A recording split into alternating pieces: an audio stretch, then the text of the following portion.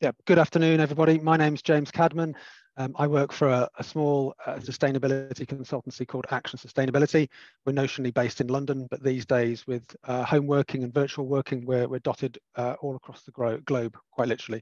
So we have uh, a webinar today here with uh, three guest speakers to talk about climate change and carbon and uh, the, the climate emergency, um, but we're setting it in the context of being one year on from COP26 um, in Glasgow.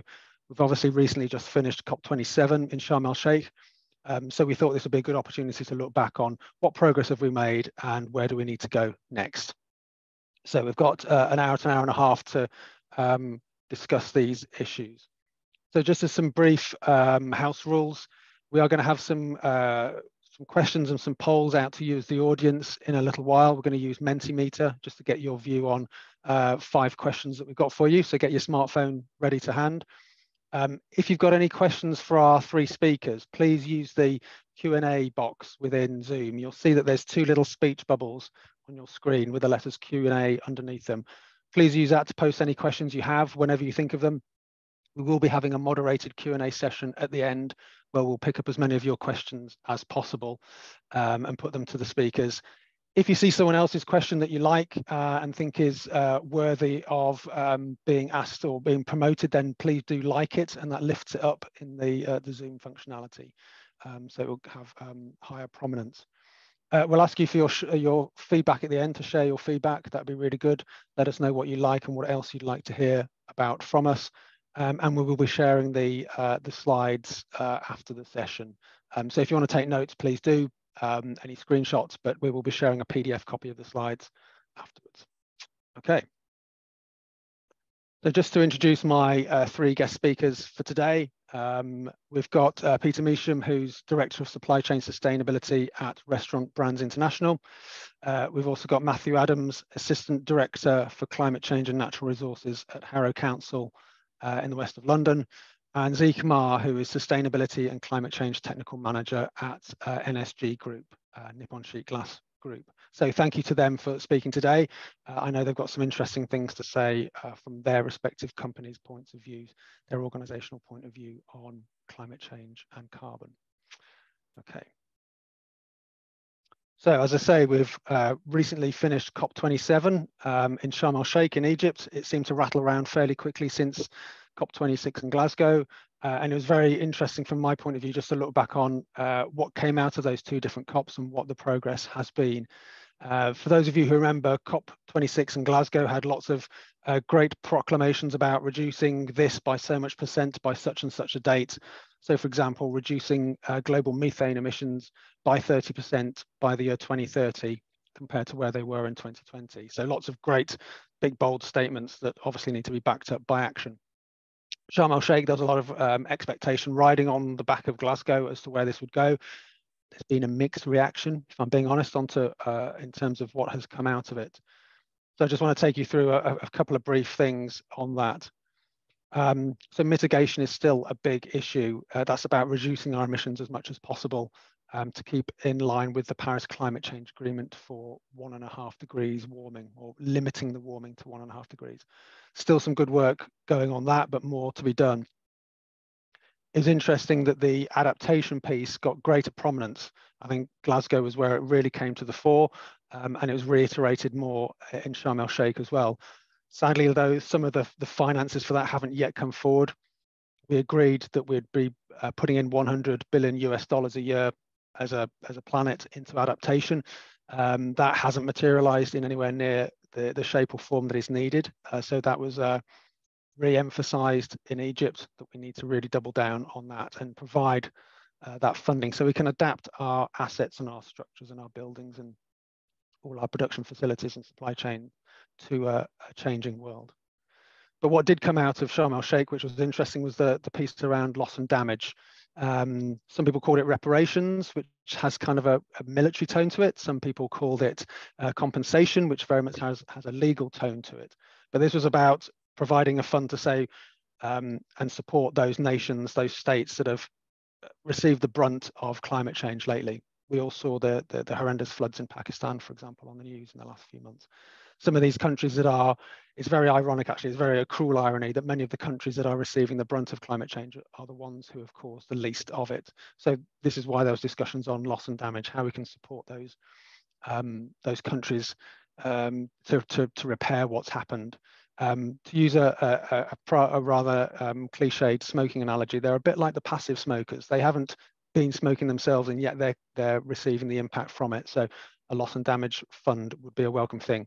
Yet to be decided what that actually looks like and how much is in it, but the principle at least has been established. And in terms of what we need to do as a planet, there's there's uh, quite a bit of work to do, but we it's it's a positive move that we can make, and uh, the window is still open. Um, so what we currently have is uh, coming out of all these conference of parties, these COP meetings, are a, a, range of pledges and targets. In the language of the COP, they're called nationally determined contributions, NDCs. And that's what each country is pledging it will do in the future. And that's what's highlighted in that red box about bringing the, uh, the, the, the, curve down in terms of our emissions and minimizing the worst impacts uh, as much as possible of climate change but you're still seeing um, some global warming over two degrees um, above and beyond those pre-industrial levels. So where we need to get down to is this one and a half degree pathway. That's what we're really aiming for. That's what came out of Paris, and we we need to keep pushing our efforts on that uh, one and a half degree pathway. One interesting report that um, highlighted this this gap was from the United Nations um, that came out in the run up to COP27, they publish a report annually called the Emissions Gap Report on what we still need to do as a, as a planet. Uh, and here they analyze all those pledges, all those targets, all those nationally determined contributions. What's the gap? What else do we need to do?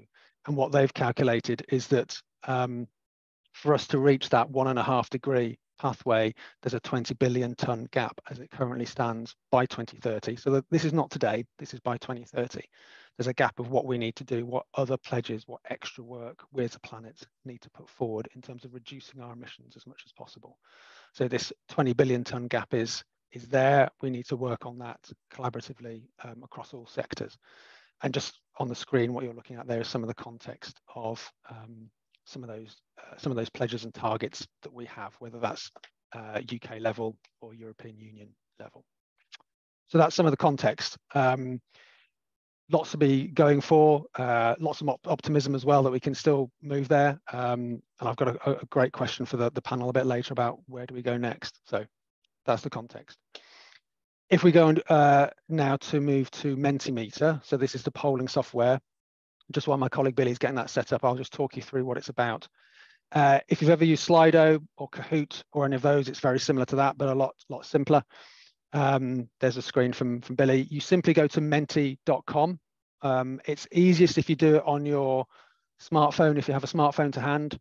Um, if you don't have a smartphone, then just open up another um, tab on your browser and go to menti.com. You can use the QR code if you are um, tech savvy uh, enough, better than me. And you simply enter that eight digit code that you see on the screen, 8105 5550 and you'll get um, a very simple screen. This is all anonymous, by the way. You don't need to put your name in. So we'll just give it a few seconds for people to join. It's best if you're using your computer browser to use Chrome rather than Internet Explorer or Edge. For some reason, Chrome works better, or Firefox, one of those, but not Microsoft Edge. But like I say, the, the simplest way is if you've got a smartphone to hand, just open up your, your browser on your smartphone, go to menti.com.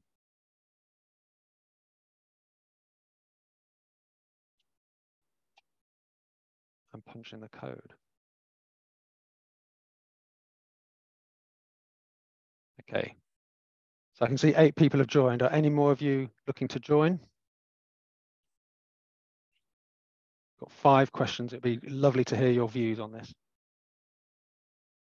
Cool, excellent, more people joining. Like I say, it's all anonymous.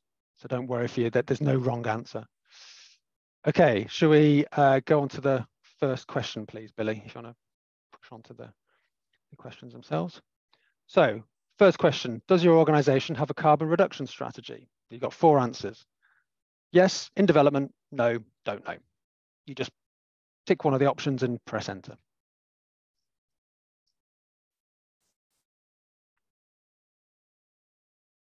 Okay, so it's looking good. The vast majority have, of you have got something or it's in development, which is really good.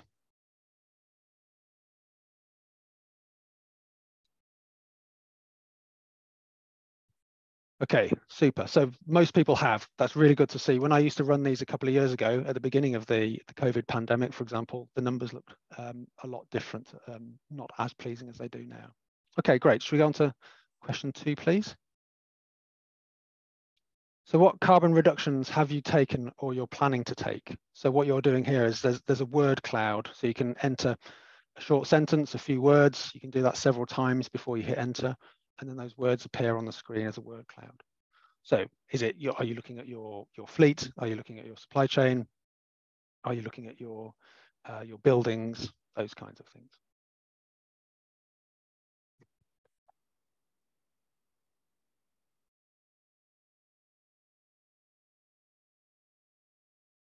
Okay, supply chain, solar farms, yep.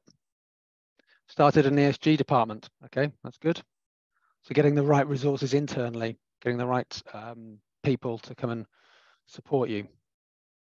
Organic cotton, yeah. So if you've got workwear, if you've got uniforms, for example, low carbon materials, uh, retrofitting is really important as well. Uh, if you're in the built environment, something like 70 or 80% of the building stock that we have now will still be out there standing in 30, 40 years time. So retrofitting is is as important, if not more important than um, how we build new buildings. Data centers, yeah. Packaging. So lots of different things. And this is exactly the kind of point that I'm, I'm glad to see is coming out. There's no one magic silver bullet for this. There's lots of different things we can do depending on our situation. Uh, and depending on our budget as well and our availability of resource. Um, it'd be great if we could all leap to um, uh, air source heat pumps and solar panels, but we might not have the ability, we might not have the budget. So we need to look at lots of different opportunities. Okay, cool. Should we move to number three, please? Billy? Does your organization have a target for science, uh, for carbon reduction? And you've got a few uh, options here. So I'll just talk you through. Do you have a science-based target at one and a half degrees? Or do you have a science-based target at the well below two degrees scenario? You might have your own net zero target and then there's some in development, not sure, no.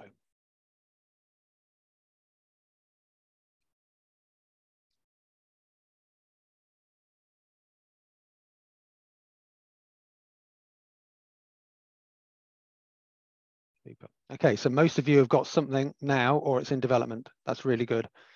And there's no right or wrong in this. Having It's about having a target and working towards that and, and amending it as you go through as well. So that's really, really good. Okay, so most of you do. Fine, thank you. Uh, question four of five.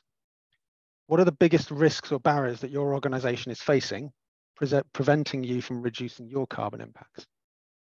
Again, this is a word cloud.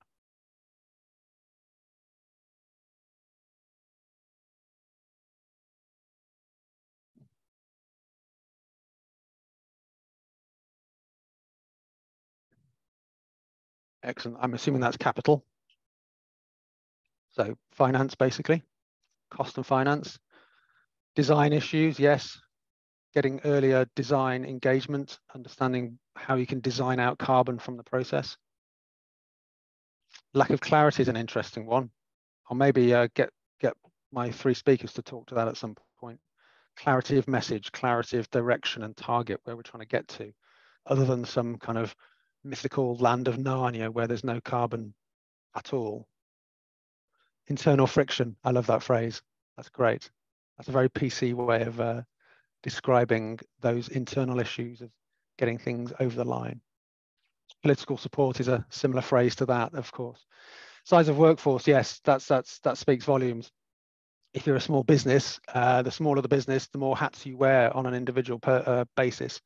You know, it's having the right resource of people there to um, support you deliver what you're looking for too many certifications. Yes, there is a bit of a, a confusion about how many labels and standards and certificates you can get on this. Excellent. No, that's really useful. Thank you. Some interesting things there.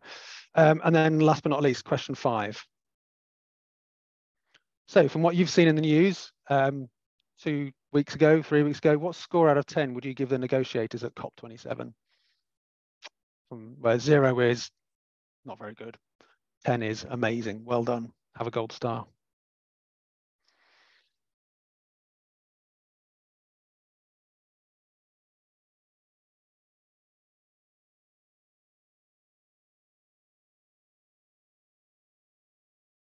Okay, so they're getting five out of 10. They're getting a C plus.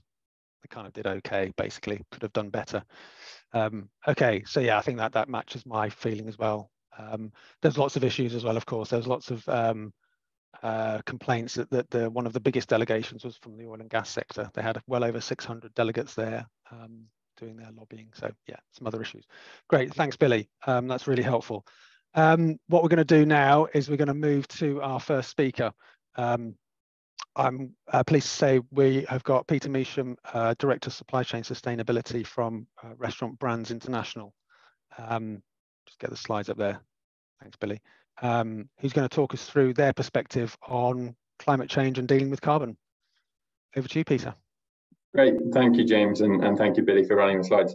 Um, it's great to be with you today to talk about climate action. And I think those answers we saw, the responses we saw in that Mentimeter poll were, were you know, very interesting and hopefully connect with people uh, as we go through this presentation. So, um, Billy, if we can move move on to uh, the next slide after this. Um, so just to say this information is uh, confidential to RBI, but um, obviously it's you know free to share with you today.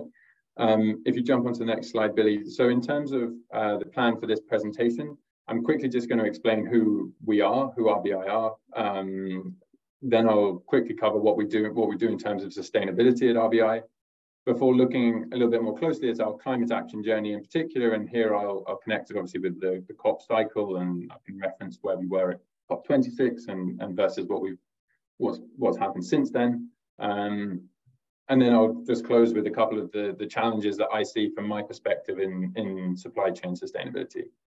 Um, so, Billy, if you can jump to the next slide, just uh, yeah, one more. The just a quick overview of who we are at Restaurant Brands International. So we're a, um, a multi-brand franchisor in the quick service restaurant industry, um, the QSR industry. We started in um, in 2010 with the acquisition of Burger King, which obviously I, am sure many of you are familiar with, a global um, burger restaurant chain.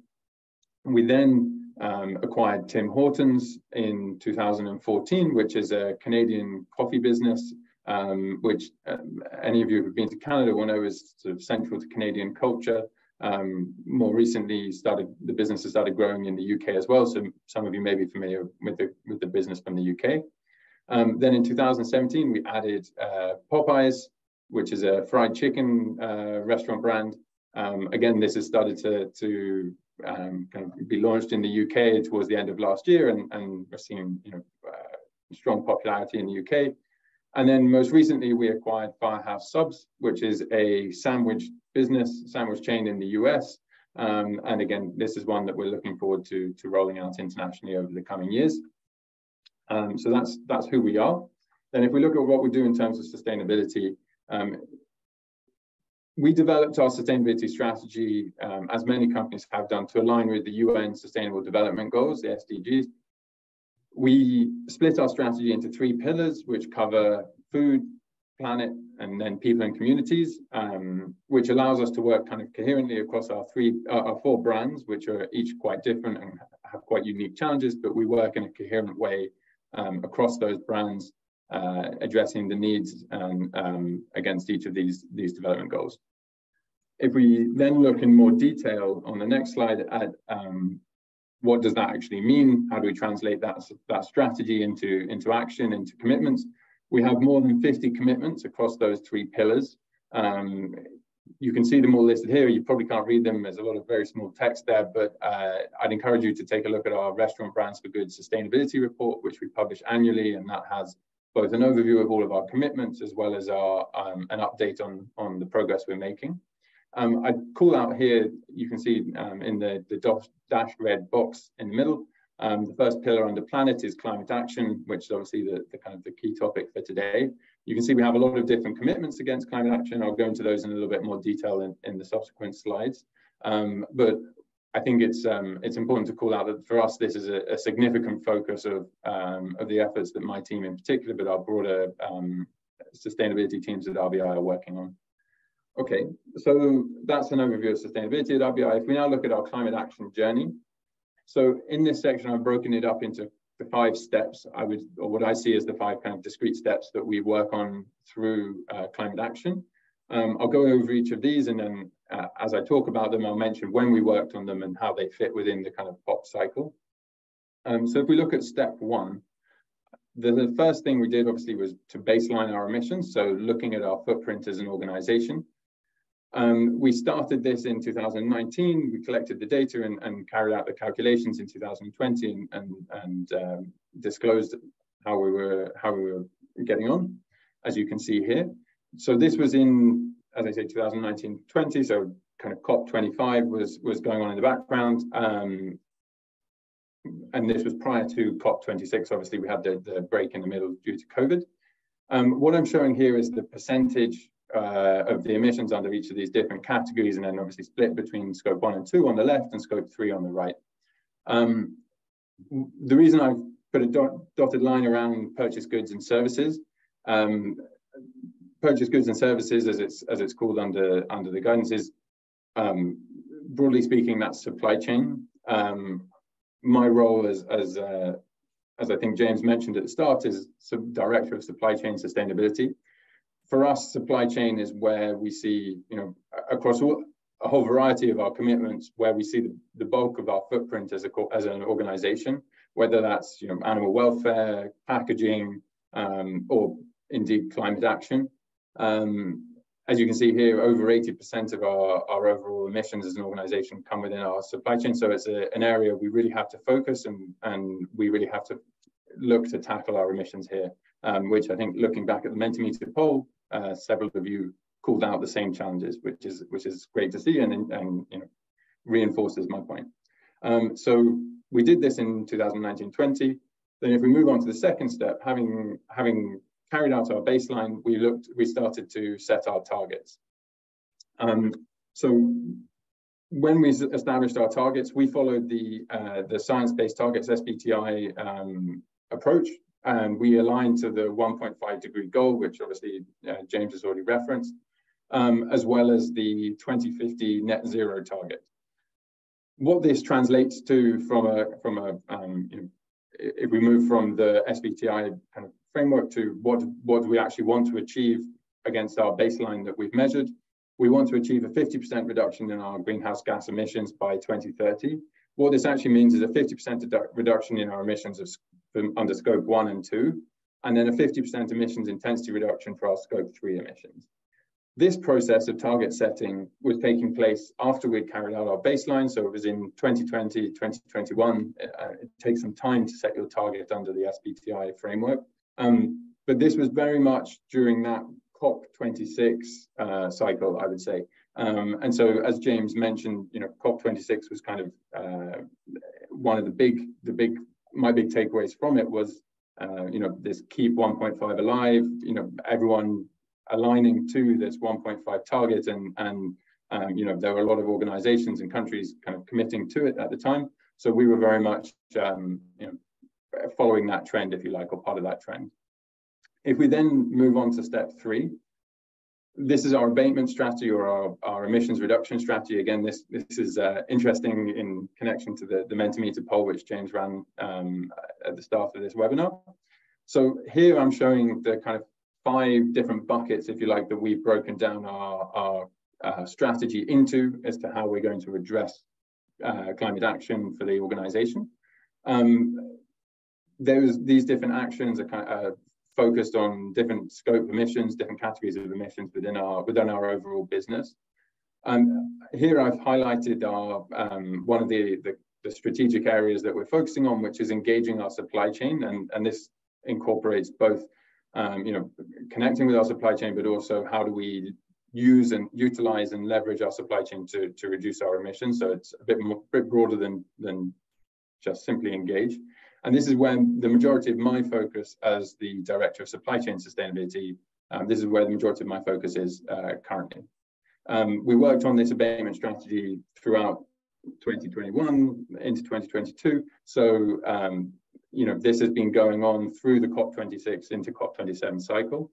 And then if we look at um, the next step, which is stages four and five, I've grouped these together because for me, execution and measuring and reporting is ongoing, uh, iterative, and, and they very much run in parallel. Um, I've again, I've pulled out an extract here from our Restaurant Brands for Good sustainability report, uh, which we published earlier this year, and we, we update on an annual basis. I won't ask you to read everything here, it's a lot of text, um, but I wanted to, to kind of explain you know, what we're talking about here. Um, there's two kind of key work streams, although there's three points.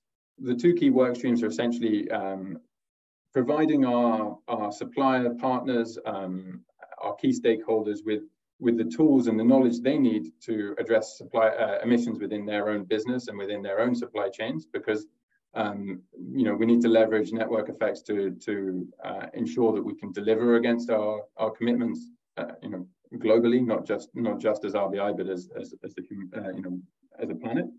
And then uh, the first and the third points here talk about two specific projects that we've recently um, launched, working with uh, some some um, of our suppliers, but also with key NGOs to try and uh, improve farming practices, to try and work with um, with ranchers and farmers in these two are focused in the US uh, to improve uh, regenerative agriculture um, and to provide you know knowledge and and uh, resources to to those rural communities. Um, I think the reason I highlight this second point is I, one of the one of my takeaways from COP27, I know James said high level three of the key themes. One of the key themes from, from my perspective for our industry um, was, I believe, a, a, kind of greater focus on um, partnerships and and commitment from industry um, to tackle some of these big issues, uh, which I think is a very positive thing. Um, one of the examples of this would be in, on deforestation. We saw a number of major um, agribusiness firms and, and food firms coming together to, to commit to tackling deforestation by 2025. Um, some people would say, you know, some of those organizations have delayed their commitments uh, historically and have failed to meet them previously. But I think this is a very positive sign because of the fact that we see these organizations coming together uh, and working in partnership to, to um, achieve those goals. Uh, and I think that's something we're going to see a lot more of going forwards.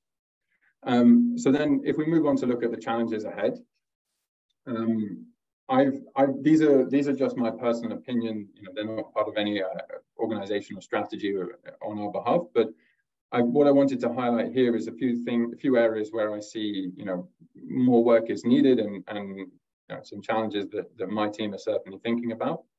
Um, the first one is global engagement. Um, you know, I, am lucky enough to work in a global supply chain, interacting with partners um, across you know, all, all different geographies. Um, but I certainly see that the engagement in uh, you know tackling the climate crisis is is different in different regions. Um, you know, different different countries have felt the effects differently. Different countries have different uh, have either allocated more or less resources to this problem based on their you know conflicting demands.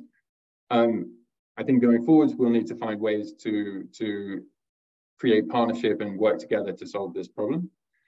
Um, impact measurement, I think increasingly we're, you know, we're seeing that consumers, but also organizations are interested in making better decisions in how, how in, uh, in regards to supply and in regards to the products they consume.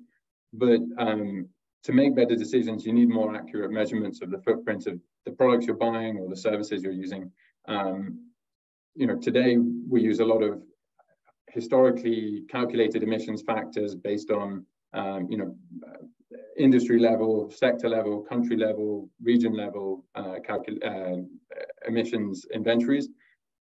Going forwards, we need to find ways through technology to improve that, I think, in order to help us make better decisions. The third point is traceability. I think um, you know we can all only do the right thing if we know what we're buying, we know where it's come from, we're sure that it's been you know, tracked throughout the full supply chain, and we can therefore, um, you know, take advantage of, of the improvements in in uh, farming and impact measurement and in, in, the quality of the products that we were buying.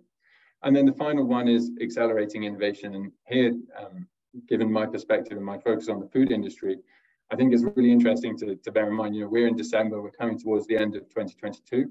Um, if we think in agricultural terms, you know, to hit our 2030 target, we have seven cropping cycles yet left for the majority of major um, you know, agricultural commodities. If we look at um, cattle in particular and, and, the beef industry, we have probably four calving cycles left. Um, so really, we need to accelerate innovation. We need to make change quickly. We need to be doing the research today in order to make the most of the time that we do have um, in the run up to 2030. So action is needed now. Great. So that that was it from me. Um, thank you very much, everyone, for, for joining today, and thank you for, to James and, and Billy for putting this on. Thank you, Peter. That was um, really interesting. And that, that final stat there really came home to me. Seven cropping cycles and four calving cycles. These are numbers you can count on one or two hands. Um, 2030 still sounds quite far away to many people, but um, it's not in it's not in your world. Um, uh, wonderful. Uh, thank you very much. Great. Um, I'm now I'm now going to hand over to uh, Matthew Adams, Assistant Director for Climate Change and Natural Resources at Harrow Council, who's going to give us um, the local authority perspective on how we tackle this um, at, a, at an authority level. Over to you, Matthew. Great, we can see your screen. You're on mute, by the way, Matthew. There we go. You can hear me now. Good. Uh, Good. Can you see the screen okay? I'll just we can, make, yes. Make it a little bit bigger from into, into slideshow mode as well. There we go. Is that okay, James? yeah, that's just coming through. Okay, well, good, good afternoon, everybody. Um, thanks for having me. I'm Matthew Adams. I'm uh, one of the assistant directors at uh, Harrow Council, which, for those you may not know, is a, a small, um, uh, smallish borough in northwest London. Uh, and I was going to give a little bit of perspective uh, on the local authority scene in London. Um, there's a lot going on, and I, uh, I can only speak for Harrow uh, from direct experience, but uh, we are involved as well in some other sort of regional West London collaborations and also a couple of pan London projects. So, um, give you a little bit of a scene set on that. I thought it would be helpful as well just to talk a little bit about consumption emissions because that's also been touched upon by Peter, not really on on uh, local authorities' radar initially, I don't think, after climate emergency declarations were made, but then gradually becoming obviously more and more important because um, you know a significant amount of emissions are in, in our supply chains and uh, uh, in the, the goods and services that we consume. So, give you a little bit of a feel for London. There's Harrow up in the, the top left-hand corner there. Um, 32 London boroughs plus the City of London.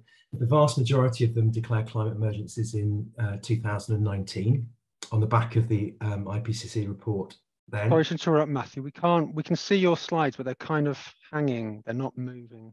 Hang on.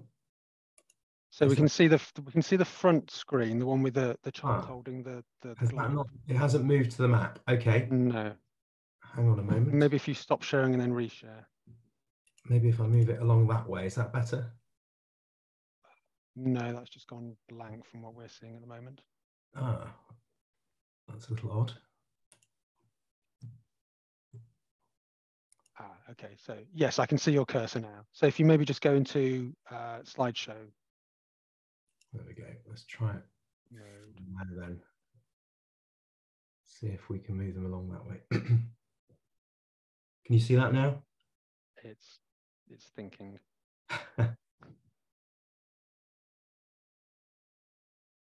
Ah, yes, it's just we're seeing your notes screen rather than the. Ah, okay. The presentation. Does Billy want to share his? Because it might yeah. be. Then we can. That, that would work fine. Thank yeah. you. Yes, if you want to do that. So, Billy, if you want to share up the deck, that'd be great. While, while Bill is Bill is doing that, um, just to talk talk you through that map which you briefly saw. Um, there are um, yeah 30 London boroughs plus City of London. The vast majority have a 2030 organisational target, um, and that was a, you know, a, a political declaration in 2019. Um, but it's also now backed up by um, the Mayor of London, who has a, a 2030 target. Uh, it, it's challenging, but for organisations, not unachievable. Um, obviously, as well as our own organisations, which is substantial, we also have responsibility for our local areas. Um, I don't know whether Billy can bring up the slides for the next. I'll, I'll get them up. Okay. There, there you go. go. Can you see those? That's it. If you move on to the next one. Thanks, James. So uh, that's the, um, the, the area targets. Um, some of us have 2030 targets. Uh, to be honest, um, that's going to be extremely challenging. Uh, it's an ambition at the moment, but net zero by 2030 across the whole of London clearly is, is probably going to be beyond our reach, but it doesn't mean that we can't set the ambition high. The mayor has a 2030 target, but the recent adopted um, accelerated green pathway, he calls it, um, delivers actually 22% residual emissions by 2030. And even that is extremely challenging. Uh, it includes some unpopular measures, like those of you who, who live in London will be well aware probably of the um, the ULEZ expansion. Um, but uh, you know that's the sort of level of of um, of intervention that's going to be required to to get close to uh, net zero, or at least a significant uh, reduction in emissions. In that case, from um, from road transport by 2030. Uh, next slide, please, James. So just to give you a little bit of context, a few numbers coming up. Uh, this is a ton of CO2. You may have seen this before. It's a sphere 10 meters by 10 meters in, in diameter. And in my mind, it helps to um, just to think of these little balloons that we're all carrying and a uh, significant number of those each personally, but also as organizations, uh, as, as boroughs, and of course, uh, in, nationally and internationally as well. And when you start to visualize it that way, you can just see the, the, the amount of CO2 that's still in production at the moment. Uh, next slide, please. So um, probably aware of the three categories of, of emissions measurement that, that traditionally um, have been undertaken, scope one, scope two, and scope three. So scope one are direct emissions, and for local authorities, this is um, our, our vehicles as authorities, uh, our heating requirements from quite a big estate. We all have schools and various other public buildings under, under our control. Um, and thinking about the borough as a whole, it's obviously the borough's buildings and um, uh, and road transport uh, within the borough. So to give you an idea, Harrow's emissions are around 450,000 tonnes of CO2 a year. The focus areas for local authorities have been very much initially, I think, we're on this area, looking at how we can retrofit um, schools and public buildings. Harrow is just finishing, as an example, a, a 4.5 million phase one retrofit program for seven schools and public buildings. Involves putting heat pumps in to replace or supplement gas boilers. Uh, really good uh, but difficult process. Um, if you uh, seen industrial size heat pumps, they are huge things. They sit outside schools, quite invasive um, uh, technology to, to also improve the fabric of these these schools and public buildings, which of course can't close for a year or a year at a time to to do this work. So it is a challenging exercise, but um, uh, it, it is possible, and it, it, the skills and the knowledge around that, I think, gradually growing in local authorities as they are in in other industries. Fleet decarbonisation, doing quite a bit of work on on that. Um, a longer term plan problem we have at the moment with that is is the heavy vehicles even minibuses of the size we need aren't yet available as electric uh, alternatives or if they are available they are extremely expensive uh, magnitude of two three four times more expensive than than diesel versions. Um, but that that's a, a longer term prospect. Um, the market is changing. Um, low carbon transport how do we reduce fossil uh, fuel journeys in the borough? Uh, things like electric charging infrastructure is important uh, for that, uh, public infrastructure charging, encouraging private infrastructure charging, um, and ways of incentivizing uh, active travel as well. Indirect emissions roughly half the direct emissions total. I won't go into too much detail on that. The main thing to say is that solar PV is probably the most active way we can we can reduce those emissions by generating electricity locally. In London, there's a, a scheme. If you've lived in London, you, you, may have received letters about this called Solar Together London, which is a group buying scheme we sponsored in Harrow along with lots of other boroughs to enable residents to acquire solar panels at a, a, a lower rate than they would have done if they did them individually. You can also move to green tariffs. Uh, the mayor has a scheme called London Power, which is a, a sort of renewable back tariff. And then the last category, if you click once more, James, is um, scope three. And the reason these are in red, consumption emissions, is they are difficult to measure, um, as we all know, uh, but a really important category. And I'll talk in a moment about the public procurement project we've done in West London. Uh, and it, once you start to measure consumption emissions, you start to also see the impact of food and diet choice on, on emissions reduction. If you move to the next slide, James, please. uh, which quickly, I thought I'd show you this. This is our electric sweeper in Harrow. Um, uh, I was talking to the gentleman last week who drives it. He's like the cat who's got the cream. He's uh, there polishing it every day. Uh, feels uh, there's, there's, four other sweepers that all diesel. I think he feels very much in a privileged position. Uh, interesting thing about that is it is a lot more expensive when you did one out of the four because we couldn't afford the four. But um, there are other benefits uh, in terms of running costs uh, before the current electrical increase uh, of rates. But there, it is still slightly cheaper than diesel, and uh, you can also run them because they're quieter at different hours. So you know the same with strimmers and leaf blowers and other equipment that local authorities use. You can you can there's, there's co-benefits beyond the decarbonisation as well. Next slide, please. Just briefly to say there are seven climate programs across London, uh, uh, which all boroughs are involved in, and they're led by individual boroughs. You can see there they cover things like retrofit, using the planning system, uh, transport, renewable energy. Uh, the program Harrow is leading, which is to do with consumption emissions. I won't go into too much detail, but happy to take questions on that later. Uh, a green economy program and a resilient and green program from Southwark, which is, is around climate adaptation, uh, primarily and mitigation. Next slide, please. So I mentioned measuring consumption emissions and how that can give you a different perspective. So um, if you totted up Harrow's scope one and scope two emissions in the previous slides, you see they came to about 650,000 tonnes. But when you start to measure true cost of consumption, so that's the emissions embedded in goods and services outside our physical area, which of course is transport, flights, travel outside the area, most of the food, uh, and goods that we buy uh, are produced outside London, often abroad, then you get a much more holistic uh, position around emissions. And this gives you a quick summary of that about 8.6 tonnes per resident in Harrow, uh, uh, 8.6 of those balloons per person being let off every year into the sky. And there's 250,000 uh, residents. So you get a figure well over 2 million tonnes for the borough as a whole also gives prominence then to transport, which um, once you measure the whole picture becomes the single most um, uh, the highest area of emissions. That's the blue segment there. The red segment is um, is houses and um, uh, physical buildings, you know, mainly heating and power.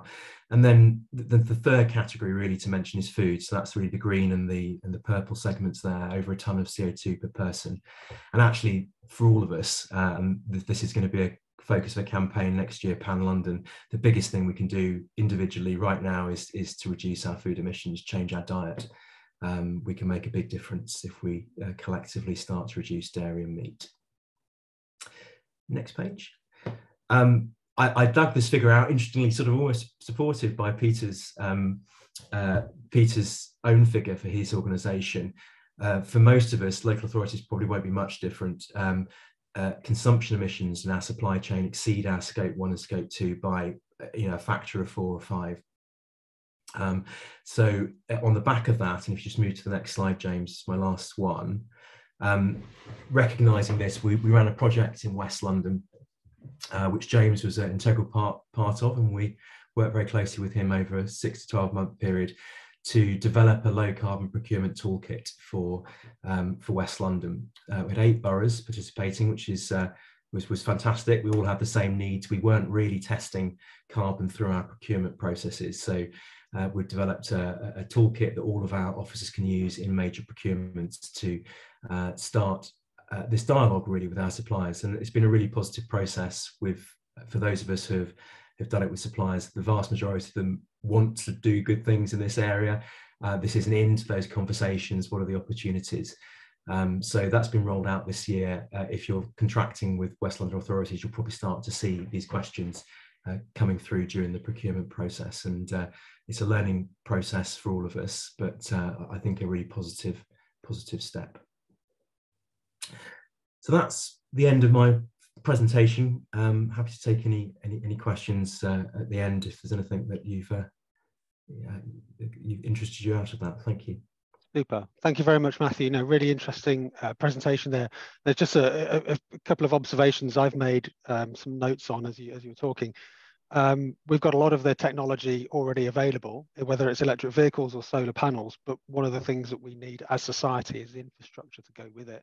it's all very well having an electric vehicle, but if there's nowhere to charge it up or nowhere convenient to charge it up, um, it causes a block. Um, but we still need innovation. There's still a, there's still room for innovation, whether that's at the heavier end of vehicles or different ways of working. There's lots of opportunities. Um, and I love that final stat there, the 5.1, 5.5 to 1 ratio. That, that, that chimes with what I see there.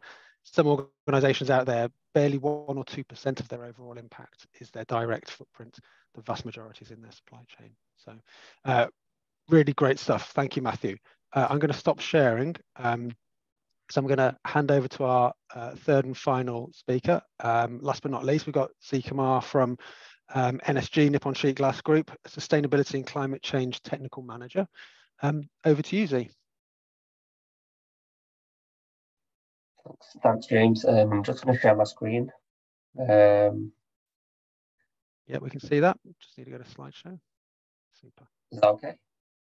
Yeah, we're seeing your notes screen rather than your other one. Uh, yeah, you can just switch screens. That's it. Yeah. That better? Perfect. Thank you. Cool. Okay. So hi guys, um, I'm Z- Zeeshan Qamar. I'm, I work at NSG Pilkington. Uh, we're the one of the largest glass manufacturing black glass manufacturing companies in the world, and uh, I work in the sustainability and climate change function, man- function managing the sustainability activities, climate change activities, and energy management um, across all of our sites. Just to give you a little bit of um, a background of NSG, um, we supply um, architectural and automotive glass globally and promoting shift to higher added value. We also have a third business unit, which is the uh, technical glass. So products which include thin glass for displays, lenses, for printers uh, and scanners, and specialty glass fiber products as well. So uh, one of the we have the biggest market share in the glass cord business. So glass cord is goes into your engine timing belts um, we have a facility in Japan and in St. Helens in the UK that has been manufacturing this for over 45 years. Um, but the biggest bulk of our um, revenue comes from the automotive and architectural, as you can see in the in the chart on the in the bottom right. Um, we're based all over the world. We have uh, 28 float lines worldwide. Some float lines are where the architectural glass, black glass is, is, is made. Um, we have uh, 26,000 employees globally as well. Uh, we started in 1918, NSG as, as a group started in 1918. Pilkington was actually founded in, in St. Helens, uh, UK, but um, it was the, the acquisition in 2006 of Pilkington, um, you know, was the game changer for NSG Group. Um, you know, from 1918, they developed various sites, which we have up to now in China, Vietnam, um, in Japan mainly as well. But we became the global leader in flat glass in 2006 with the acquisition of uh, Pilkington Glass. And um, up to till now, we announced our, our vision and our medium term vision and a medium term plan, revival plan 24, what we call. Um, so yeah, uh, just some examples of some architectural products that we we have. We're um, the only the only place we don't have any sites at the moment is Africa and Middle East. Uh, in the Middle East part, but in Europe, South America, Far East Asia, um, South America, North America, we we have our, our sites um, doing various doing these providing these wonderful products um, across the three business units.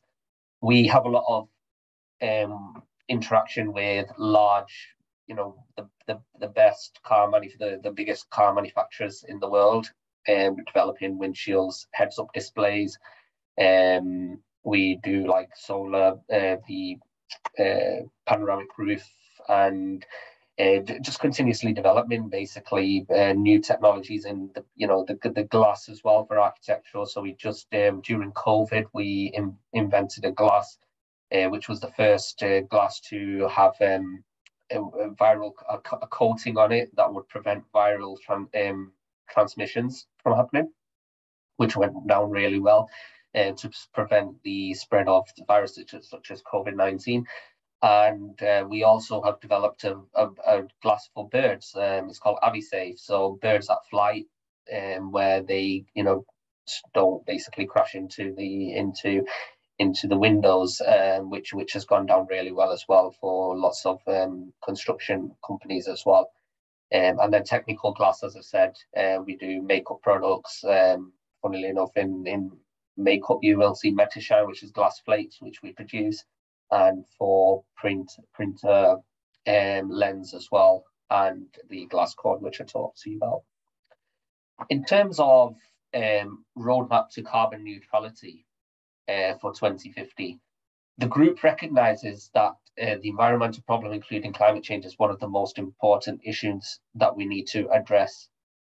So, the group has committed to achieve carbon neutrality by 2050. We want to be net zero by 2050.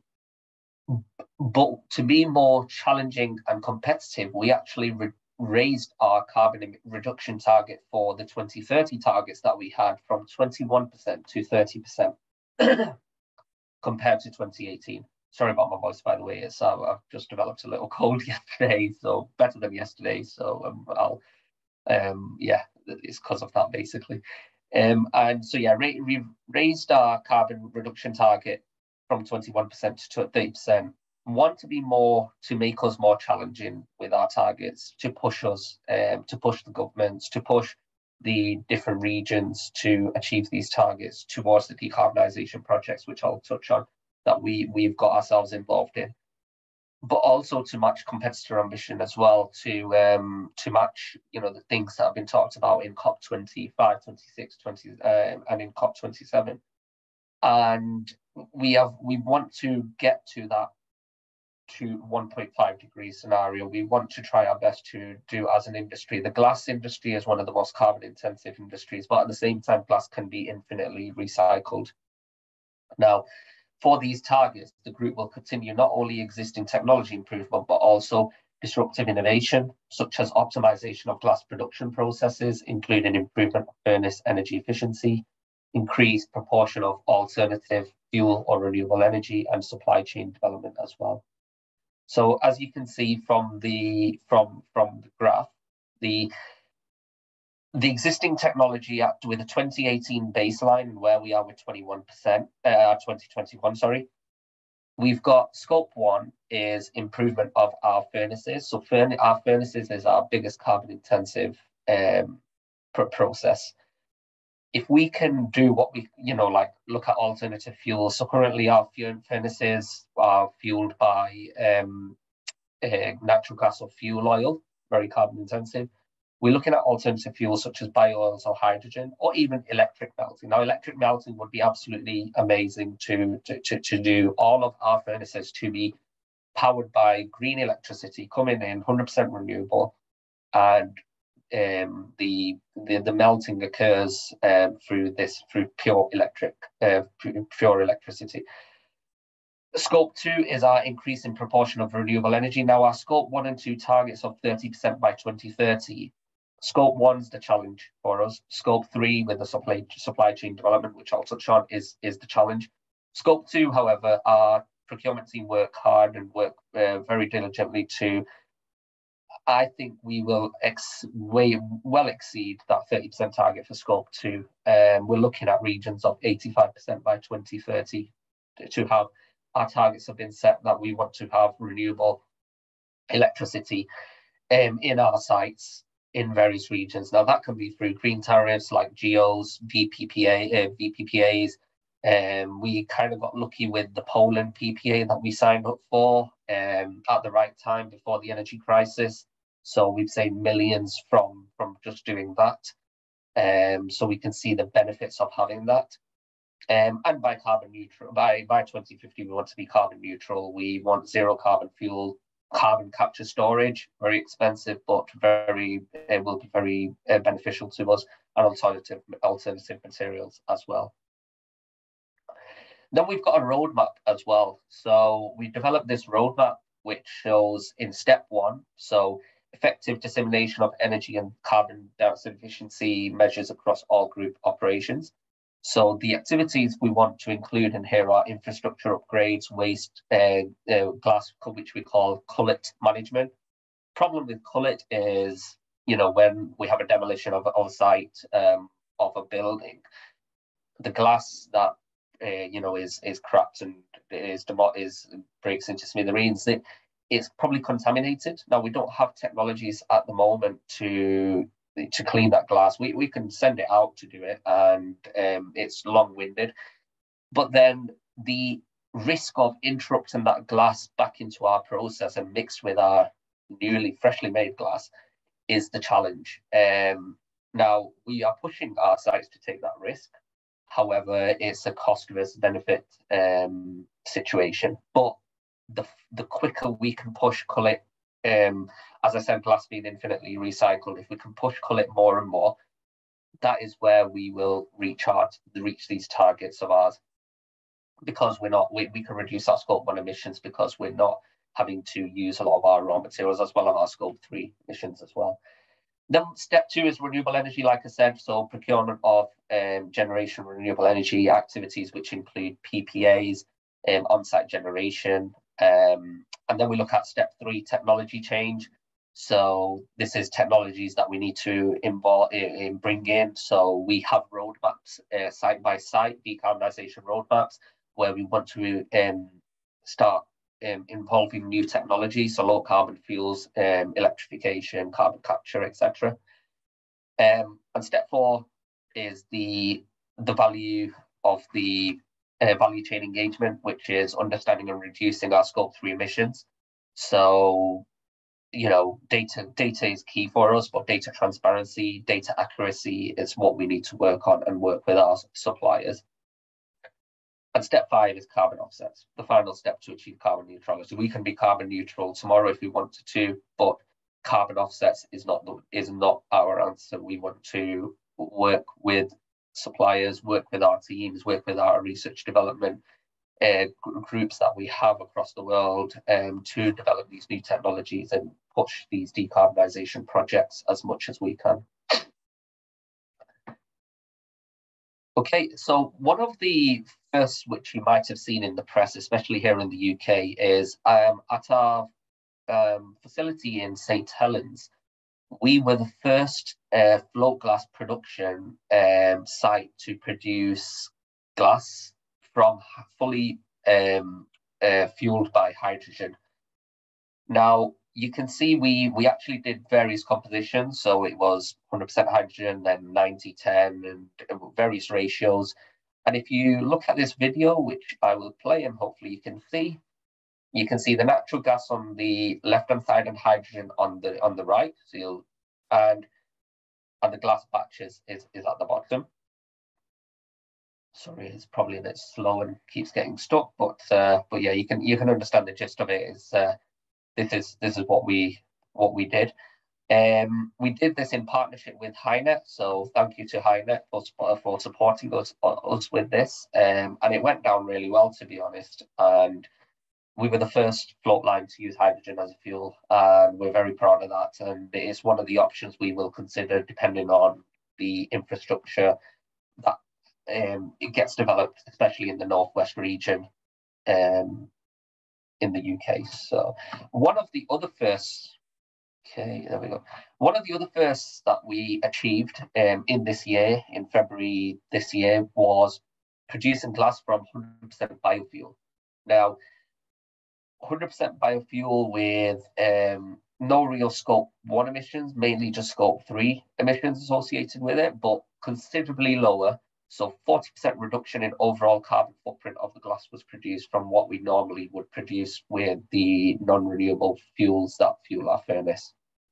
However, there are um, lots of technical challenges that we need to overcome in terms of commercial and logistics. Um, but we were the lowest car it's the lowest carbon float glass that was ever produced in the world and again we're very um, this was done over a span of three days, and we are very proud of what we produced. And it's it's as you can imagine, it's really good to to sell this to customers to um, for them to then promote their um, decarbonisation strategies as well and plans, and they could use our glass to to to promote that. In terms of our challenges to get to net zero, and um, COP, mission, COP ambitions for support, we as NSG Pilkington have a defined strategy to deliver ESG objectives, uh, which is fully integrated to the group strategy. We have carbon dioxide emissions targets, CO2 emission targets that have been redefined. Um, so, like I said, change from 21% to 20 uh, to 30% by 2030 to align with stakeholder expectations. We're openness, openness. Uh, we have an openness to collaboration, and we believe that is key um, so not so long ago, I was in Toronto for the soda ash conference. Soda ash is one of the biggest raw materials we use in our architectural process. Now we are, if we if we can push the suppliers that we work with, or even new ones that we want to go to, as as an example with soda ash, if they can reduce their scope one emissions by fifty percent, that's a considerable amount of scope emissions for uh, for our scope three emissions that will be re reduced from from them working with them to do that. And it was a great conference to attend and see what the what the suppliers are doing, so that they can reduce their uh, to see their decarbonisation strategies basically to um, because we, we recognize we don't have all the answers, but we are working proactively to find them. We are working with the right people, the right forum. We were getting involved in the right forums, um, and it's great to be part of this one as well and to understand how different um, industries are working. So it's good to see um, the from from a council point of view there the, how they work, from a food um, perspective as well, how they work. And then you've got us in a in a very carbon intensive industry, and you see our challenges. Um, but we, we we are willing to collaborate with with with everyone and work together. Um, so current energy crisis means investment on decarbonisation projects is under pressure. So you can just imagine what we forecasted. I mean, we were more clever about it this year, but last year when we just had the hike of the energy prices, especially in Europe, that hit us big time. Like um, we had to hold off some projects, we had to cancel some projects, uh, whether that be decarbonisation or just energy or or continuous improvement projects, um, because of the the investment that needed to go into the energy energy prices.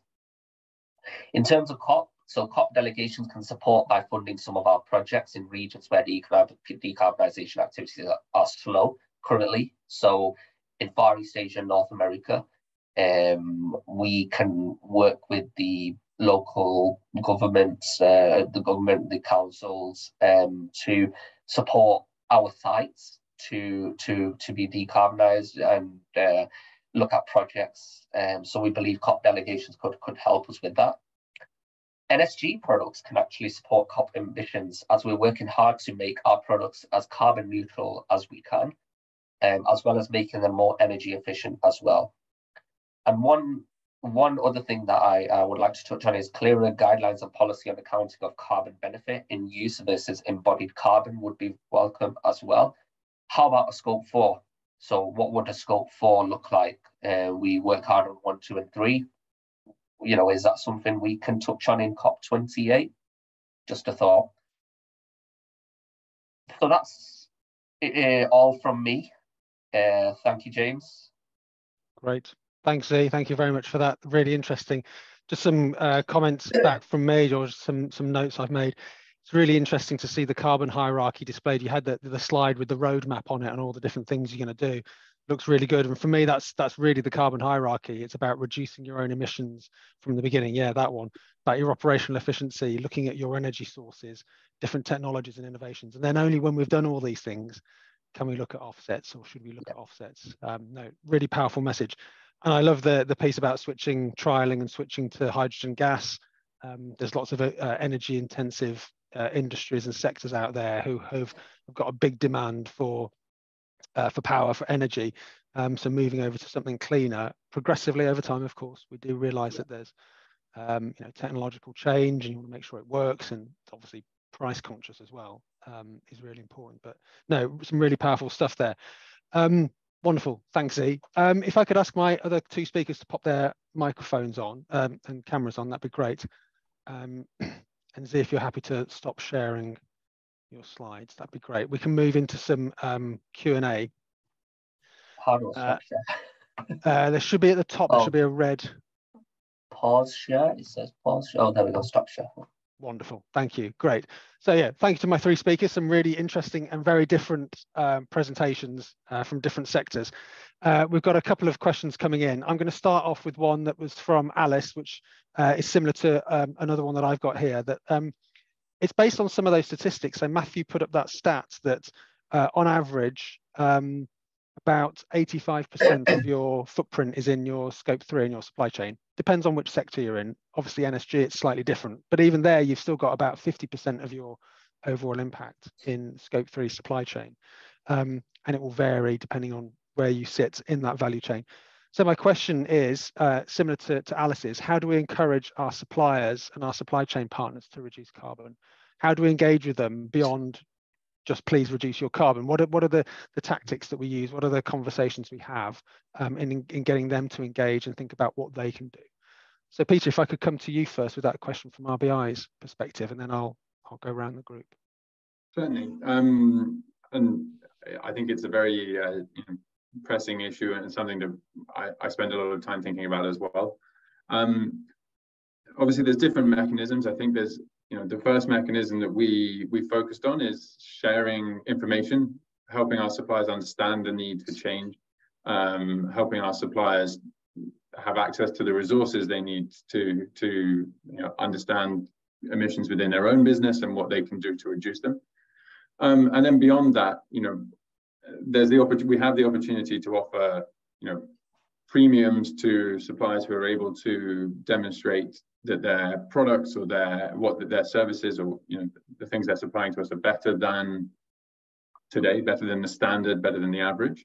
Um, that's always a more complicated discussion. You know, it's a commercial discussion. It's it's important to you know, balance between between the, the cost you're paying and, and the impact you're having and try and find the most efficient ways to have the biggest impact. Um, but yeah, for me, I think that the number one step is sharing knowledge, sharing information, um, letting people understand the problem, and then you know beyond that, it becomes a commercial commercial challenge. You're on mute, James. Sorry. Ball error. Um, yeah, Matthew, from your perspective, from the local authority point of view, how you'd engage suppliers and contractors uh, how, how, how do we bring them on side? Well, I think you start, I start from the point most people want to do the right thing, and I think I think that's true.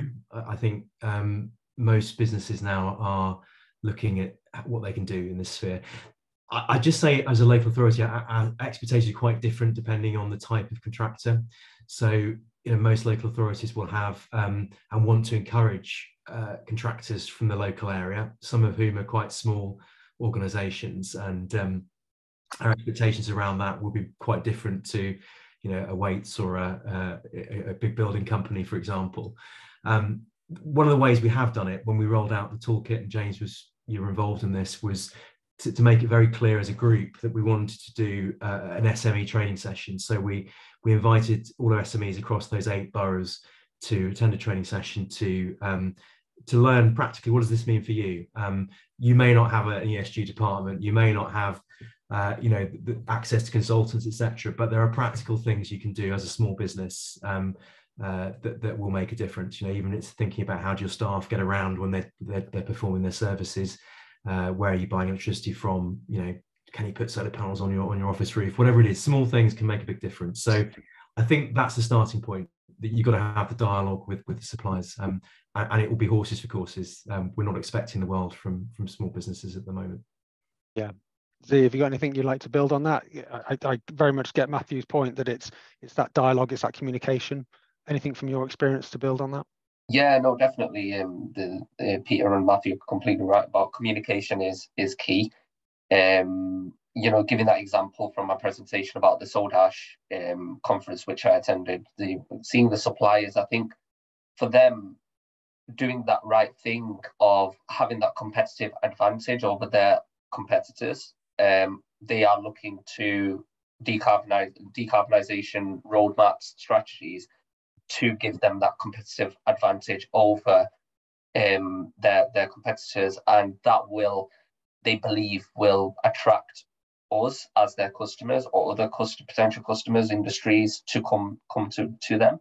So I, I think doing that right thing, communicating, uh, and just giving them them that push is is the most important thing in in this. Yeah, I, I would agree. A lot of the times when we support, uh, uh particularly smaller organisations, they kind of they look at a little bit like a rabbit caught in the headlights. Where do we start? We haven't got the resources, budget, budget as well. So if we can give them some support and knowledge on, you know, anything is better than nothing, essentially making that journey. Okay, super, thank you. Um, we've got a question which was directed at Peter, but I'm going to open it up more widely because it is relevant to all of you. It's about the, the demand for resources and raw materials. How do we balance the need for growing businesses, growing populations, um, and the resources and raw materials that we require for that? How do we how do we keep that sustainable in the widest sense of the word? So, Peter, I'll come to you first on that one, if I may. I think this is one of the um, one of the most interesting concepts, if you like, within within the kind of sphere of sustainability. You know, um, particularly from an agricultural commodities perspective. Um, you know, the drive. On the one hand, you have the drive to to uh, use less land, use less space, which is extremely important to to you know to avoid deforestation and damage to the environment and and the negative impacts of that in biodiversity and emissions. But on the other hand, um, you know, we have the need to ensure the welfare of animals and the need to, you know, ensure that we're using the best farming practices possible, often which leads to an increase in demand and increase in space required. Um, you know, ultimately more efficient farming methods is is what it all comes down to finding solutions where we can maximize production while minimizing the resources required um, it's it's a it's a big challenge. I don't have the solution to this. It's it's very tough, and it's something that we come up against in in all of the decisions we're making. You know, from a procurement perspective within the food industry. Um, but you know, it's something that a lot of good work is being done on. I would say um, a lot of a lot of firms are working very hard on this. A lot of people are working very hard on this, um, and I think we are seeing significant improvements. Potentially in the future, we'll see precision fermentation. We'll see you know the use of um, alternative alternative forms of protein um, as a, as solutions to try and improve in, in this area. Um, but some of those solutions are, are, not quite ready yet for, for wider use. Great. No, thank you, Peter. And, and the word you're you're implying there, without saying it, is innovation, and we still need that. We still do, yeah definitely. Um, you know, I, I think one of my most trotted out sentences is we have a lot of the technology already, but we don't have everything at our fingertips yet. So, yeah. um, great, thank you. Uh, Zee, from your point of view, in your presentation, you talked a lot about using recycled glass, using cullet essentially. Um, from your perspective, you know, yeah, glass is infinitely recyclable, but is there a supply and demand uh, issue there for you in terms of getting enough cullet in? Uh, could you ever see a world where you're using 100% cullet rather than, you know, taking raw materials, or where do you see the balance going over the next five? Yeah, uh, yeah, James. Um, I think seeing hundred percent cullet, I, I don't think we will get there probably in the next ten years. I, I don't think um, unless it's just the the the, the logistic issues that we have of getting our, the glass returned, um, the cleaning side of things, ensuring it's not you know the lamination that happens on the glass um, to ensure the contamination isn't isn't there. Um, and then the problems of the risk of mi- mixing it with with the with the current new glass being produced. Um, that's the, the, the real risk for us at the moment. We know our competitors are, are taking that risk and doing that, um, but we just can't afford to do that at the moment with the current um, uh, economy, um, especially in in Europe. Um, so yeah, in in that sense, I, it would be ideal to have a facility on site where we can, you know, we do have a lot of waste of our own glass that we produce on our site, um, but just continuously, you know, cleaning using that, um, and then bringing it in from working with small SMEs, um, if they can provide us something, or working with collaboration with competitors, working with them. We have sites in uh, Brazil where we are actually got a 50% partnership with our competitor, um, a joint venture that we that we have with them where we are producing you know tons and tons of glass, um, which is profitable for our business. So why can't we do something together for the better of our uh, for the better of our world? Yeah, I think yeah, there's some good, good things I, I like it in, in your response there, Zee, about um, about collaboration. You know, I've heard lots of people talking lately that sustainability should not be a point of competition in the way that safety um, used to be, but isn't anymore. We just assume that people are going to be safe. Uh, we're going to send people home alive, fit and well at the end of a working day. It's not a point of competition. That sustainability should be getting towards that as well. That we should, where possible, collaborate with our with our peers um, in our in within and outside of our sector. Um, now, really key. Um, and there's also something else in there which I'll, I'll kind of spin the question slightly around to Matthew's point of view in terms of the behavioural piece. Something that Zee was mentioning there was about, you know, we can separate these products to, to avoid contamination, but it's about around the systems and the behaviors that need to be improved potentially so that we don't get that contamination in, in, the, in the world of glass. How do you see that playing out in your world, Matthew, in terms of the behavioral piece, uh, the, the, the people piece rather than you know the machine or the, the material?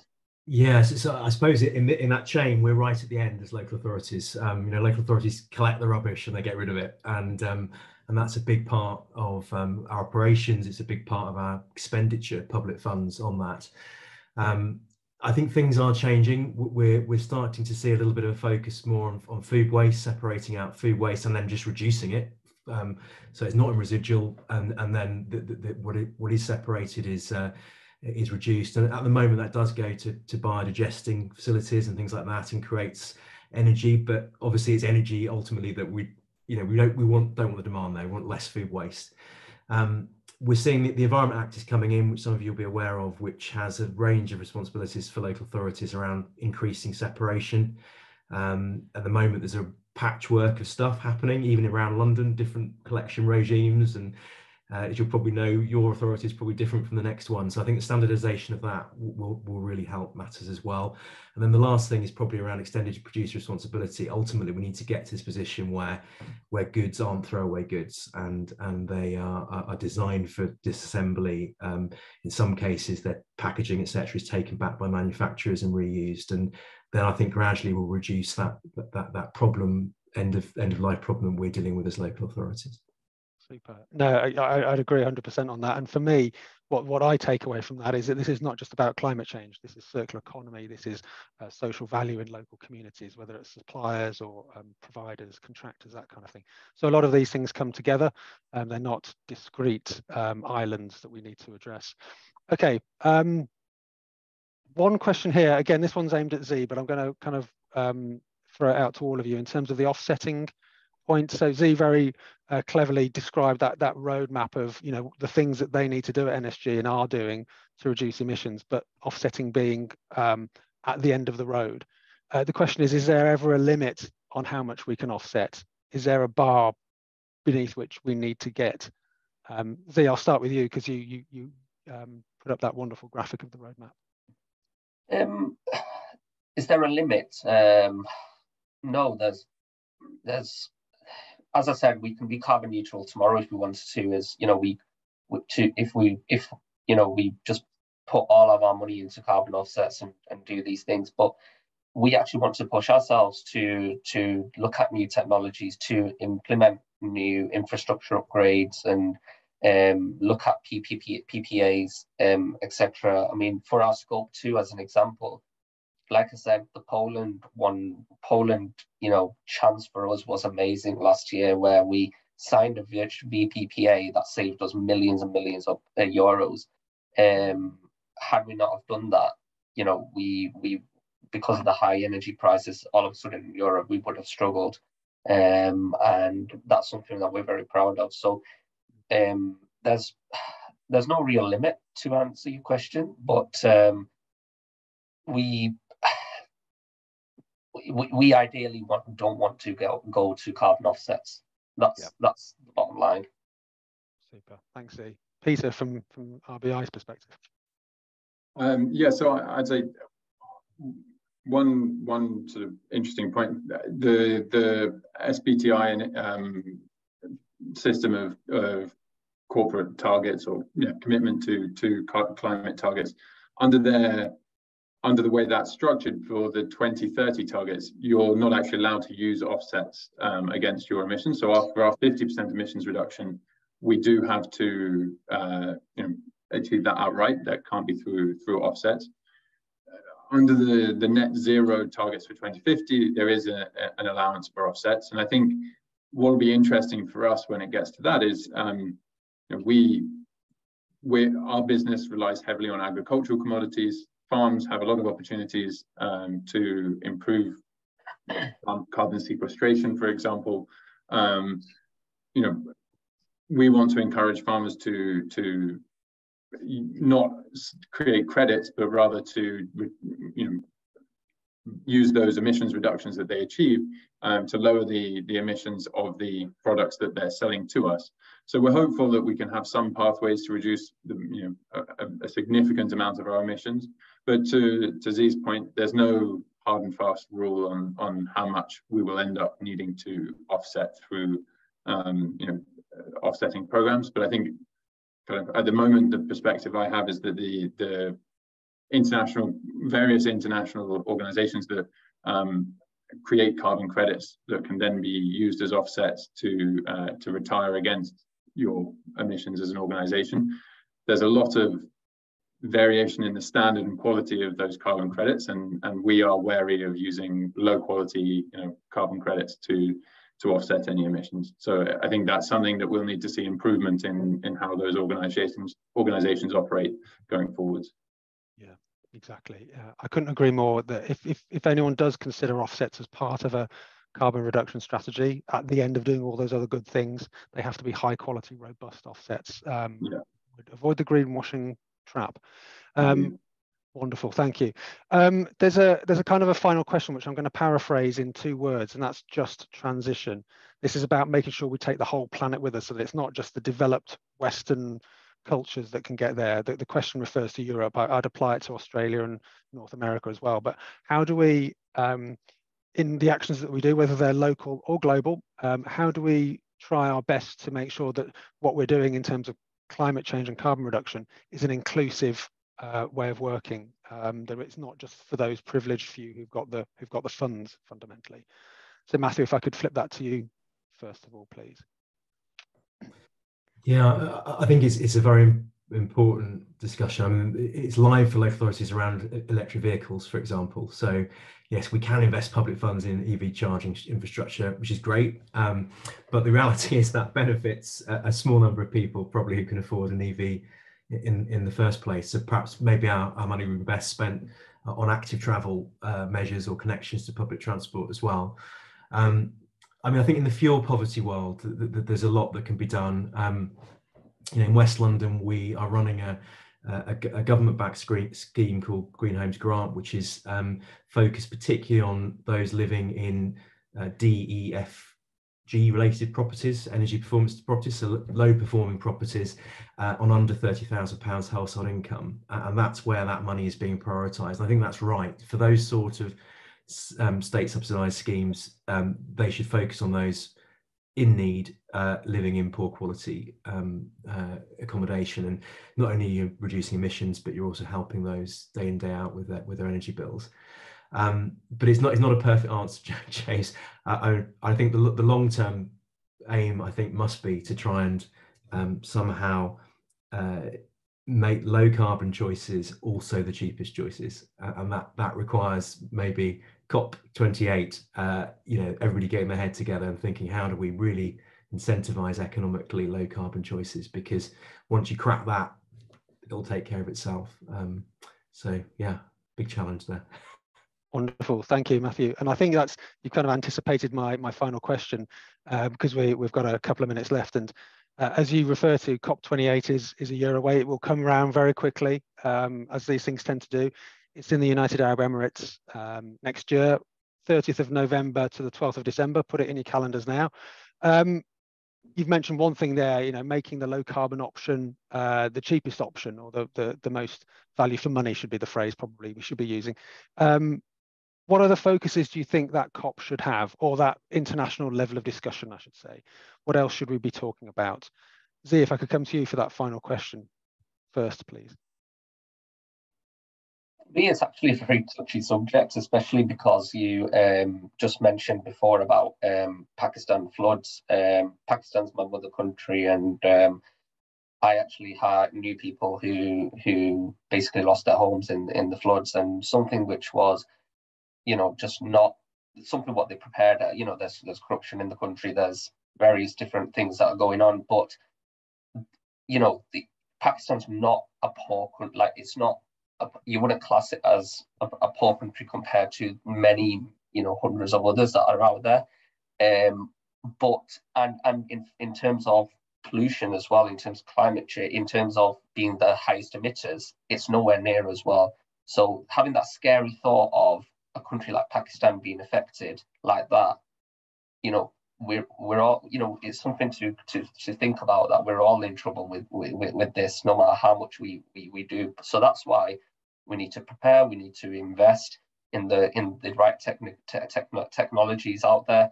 Um, we need to there's many sm- smes that are working small research groups that are working on um, developing new technologies to help climate change. You know cop28 should focus on that should look at that. I mean for, for why greta didn't attend um, cop27 greenwashing. Exactly it felt like that. Our our prime minister went for one day you know that's such one of the biggest things in in in in the global economy in the global world problems at the moment. Um, and attending just for one day just shows you know how much we're turning a blind eye to these things. Um, the delegations well, you know were similar as well. You touched on the gas ones being the biggest ones there. Um, you know we need we need an we need action. We need to be serious about it. So that's why i think cop 28 um, being in UAE now, UAE is um, has Masdar City. Um, sorry, I don't want to take too much time, but I'm just very passionate about this, James. Um, um, Masdar City is is the, you know a little small town that's been developed in in in in the UAE, which is you know zero carbon. Places like that need to be developed around the world. This is what we need to. The technologies that we have there, why can't we have them in the countries that are poor but have natural resources infinitely available to them um, for energy generation and other things that that can help them. talking about it, to be no, that's great, and I, and I love the passion. I love the passion. You're right. It's yeah. there's there's a lot more we can be doing. Um, Peter, to you, please. Um, I think I'll just be quick. The two things I'd like to see from my perspective, I like seeing um, you know, some of the big corporates making more uh, more more progressive partnerships. Um, some of these industry-led uh, collaborations on big projects or big initiatives. Um, I'd like to see more of that, and I'm hopeful that we will see more of that next year. Uh, and then the one other piece from my side, you touched on it, James. The the funds that have been committed for um, some of these big adaptation projects, I'd like to see more of that deployed, and like to to see more of that um, being being talked about and discussed. I think it was it was kind of ignored for large parts of COP27. So it'd be great to hear more on that. Yeah, indeed. Thank you, Peter. Excellent. Well, we're pretty much at time. Um, I just want to say thank you to my three speakers, to Peter, to Matthew and Zee. Some really interesting uh, presentations, very diverse um, ways of dealing with what is a truly global issue. Uh, thanks for all your questions as well and the responses from the speakers. Um, uh, it's been really good to uh, be able to host this webinar. And my final parting shot is that um, another date for your diary, COP15 for the biodiversity crisis is kicking off in Montreal quite soon they run in parallel, but they are very much intertwined, nature-based solutions. So um, sadly, it doesn't get the coverage that, uh, that Egypt and Glasgow uh, have had, but um, just as important. So if you get time, tune into that, see what they're talking about for uh, the biodiversity crisis. But for now, um, we are at time. Thank you for your time and attention. Um, have a good afternoon.